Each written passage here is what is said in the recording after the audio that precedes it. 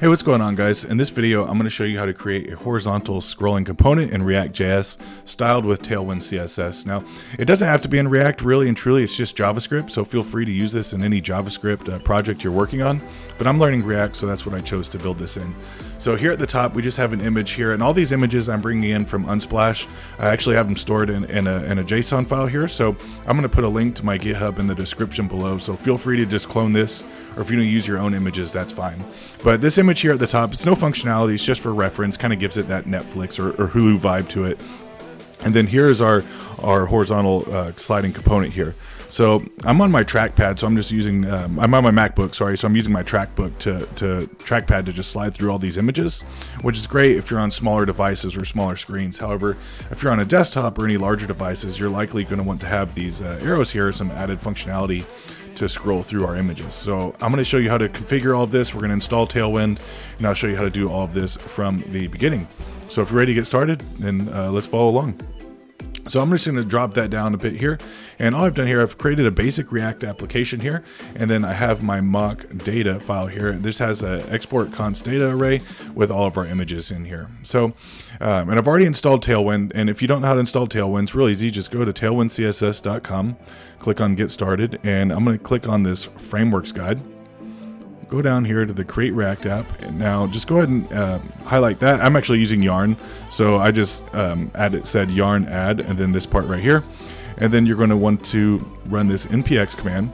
This npx command is going to create this tailwind.config file. This content array is going to be empty by default.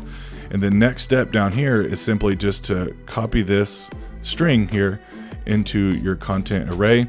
And then the final step here is to just copy this here and go over to your index.css and just paste it there. So once you have that done, your uh, Tailwind will be configured correctly and it'll be ready to go. If you've already started your server prior to um, your development server prior to installing Tailwind, then just restart your server. Otherwise, the Tailwind won't go into effect. So what do we want to do first is let's go ahead and let's go ahead and bring in our data right from from our mock, mock data site here. And so if you see, we can just import our data and then we can just grab the ID and then also the image for our image string. So let's import their data first. So import data from, and this is looking for mock data. There we go. Now I'm gonna get rid of this H1 here and um, let's add the image at the top first. So I'm gonna grab this and I'm just going to paste in this string. There we go. And I'm going to go ahead and give this also a class name.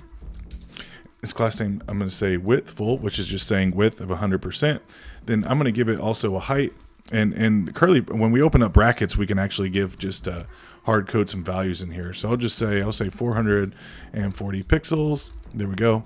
And I want object cover so I can maintain my uh, aspect ratio here. So now whenever we open up this, it's always going to stay at 440 pixels and we don't lose any of the aspect ratio there. So next, let's go ahead and uh, work on our actual slider that we're going to do, right? So this is going to, we're going to create a div here and this div is going to be just like the outer container or our, um, our, our slider wrapper, you can say, right? So I'm going to give this a class name and I want to say relative. We want that to be relative and then also flex and I'm going to say items item center so everything's lined up perfectly in the middle here. And then we're, what we're going to want to do next is let's go ahead and map through all of our images here so we can get something on the screen. So I'm going to open up some curly brackets so I can use a JavaScript here. And I'm just going to say data.map, okay? And it's going to take an arrow function. And in here, I'm going to say, we'll get that screen out of the way, map this through as items. And I'm going to map through uh, really just an image here image source, and then I'm just going to give it an alt tag, just so, just so React won't uh, start complaining. Likes to throw fits about that. So in here, what we're going to say is item dot image, because that is the URL string here. So that's what we're grabbing there, item dot image, and now you can see we have um, have our images here. So they're kind of they're all over the place here. So we need to go ahead and fix that. We're going to do that with Tailwind. So let's go ahead and add some class name to our image. And what we want to say, I'm going to have each image be about 200 pixels. I'll say 220 pixels in width is just to hard code that value there. Now I want these to be inline block. I'm going to give it a padding of 2 rem, cursor, pointer. I'm going to drop that down so we can see what we're doing here. And then also I want to have a hover effect. So whenever we hover over it, I want to scale, and we'll say scale 105. And I want to say ease ease in out and then a duration duration of 300 now I'm gonna go ahead and save that so I want to I want you to be able to see all of this here. I have it zoomed in so you can have a better look at the screen here. So width of 220 pixels and this is just our images there. Width of 220 pixels inline block padding of 2 the cursor pointer. We have a nice little hover effect here. So as you can see, we have the good hover effect. Um, however, when we scroll over, that's not what we want. We want our, our screen to end there. So let's go into our, our container here, which is this div. And um, what we want to do is actually wrap this this data right here and an ID, a div with an ID. So I'll just say mm, ID sorry, slider. There we go. And let's just move this up into the div with the ID of slider. Now, this is very important to give this div an ID because we're going to come back and grab that with our JavaScript. But in the meantime, let's add uh, our class to it. So what we want this, we want to be uh, width full, which is the same as saying width 100%. I'm going to say height full, which is height 100%. Then I'm going to say overflow x scroll, then scroll, and then white space dash no wrap. This is kind of a rare one that you don't see very often. And then we want scroll smooth. Now we're going to come back and hide this uh, this this scroll bar here, but that's what we want so far, right? And actually, that's all we need to just use our uh, trackpad on a Mac to just slide through these things. But let's go ahead and add, add some React icons so we can have some extra functionality here. So what I want to do next is actually install the React icons packages.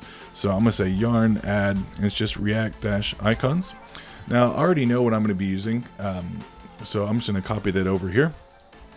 And this is how we import React icons. You Just import, and then you can uh, input your icons in here, and then use import them from React icons slash whatever the pretext here. This is the pretext of the icon slash MD. So if you have multiple um, multiple icons with different pretexts, you'll have to put those on separate lines. So let's go ahead and, and throw these in here. And where we're going to put these are actually within this div right here, but outside of our, our slider here. So, and what I want to say here is I'm just going to say MD chevron left and we'll close that off. Now we can actually access the size property here. So I'm going to say a size of 40 and we'll put the next one down here just below here. And this is going to be MD chevron right, and we'll give this a size of uh, 40 as well. And let's go ahead and close that off. So we should start seeing there. Uh, that's perfect. That's what we want right there. Now we don't have any functionality yet, and that's what we're going to do. Um, that's what we're going to do right now. So we're going to add in some JavaScript here. It's just going to be right here, just above our return. And what I want to say here, I want to say uh, we'll add, say, a slide left function, and then also a slide right function. So, and I'm going to be using arrow functions here. So I'm going to say slide left. And this is an arrow function. So we have to grab our slider, right? So define it. And we'll say document dot get element by ID. And this is why we had to give it the ID of slider. Okay. And then we'll just say slider dot scroll left equal to slider dot scroll left and we want to say by you can say whatever you like. I'm going to say 500 okay? 500 pixels. And then let's do the same thing for the right. I'm going to say const slide right and another arrow function here. So var slider equal to document get element by id there we go. And we're just grabbing the slider once more. Now i'm actually going to say slider dot scroll left again even though it's just ones to the right, but bear with me, I'll show you why I'm doing this here. Dot, scroll left, and this one I'm going to say plus 500. So go ahead and save that there. And now we have our functions, but we need to hook them up to our buttons here, to our icons.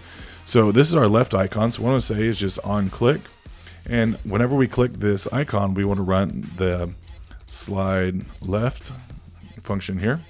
Mm, I'm just going to capitalize that. Sorry, I just saw that.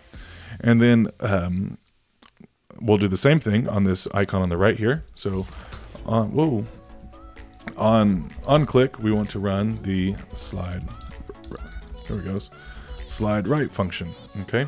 So let's see how this works now. Let's go ahead and click this. Boom, there we go. It's looking nice. Uh, um, let's add a few styles though to our icons here. And the styles I want to add are, they're real simple. So I'm just going to say uh, class name here. And for our styles for the icons, I want to give it an opacity of 50 and then cursor, pointer, and then I'll just say hover. On hover, I want the opacity to be um, to be 100. There we go. So now our there we go. You can see the icon is has the opacity effect, and whenever we hover, it lightens up a little bit. So I'm just going to copy this and just paste it down on our right icon. There we go. Now we can see that on the right. And that's virtually all we need to do to have a working uh, scroll bar here. But notice you have this kind of ugly scroll bar, and that's always um, that's kind of ugly to look at. It works fine, but it's kind of unsightly. So we can actually just remove that with CSS. Now, Tailwind doesn't automatically have uh, a class name to put just type in there um, right off the bat. So what we need to do is actually go over to Tailwind and we're actually going to package what we're going to look for. So let's go to npmjs.com and the package is called, I believe it's called, um, this is another thing I was looking at. So just real quick here, I was looking at scrolling menu packages and they're just a pain and they require like basically more code than, than this would be here. So it doesn't even make sense to me. That's why I decided to create my own uh, scroll bar here. But what we're going to look for is Tailwind, scroll bar, hide, something like that. Let's have a look here. Scroll bar hide, that's the one we want right there. So go ahead and click that, okay? Now just scroll down and I'm just gonna copy this right here like so. There we go. Now one more step it wants us to do is go uh, add this to our plugin array. So just select that there and this is gonna go into our Tailwind config file. And we're just gonna paste it right there. Now we have access to what they call a scroll bar hide. So let's go back to our, here we go. So now we have our scroll bar, and I'm just to close this down so we can see a little better. And in our slider div right here, the ID slider, this is where I'm going to add this. And what it's going to say is just scroll bar hide.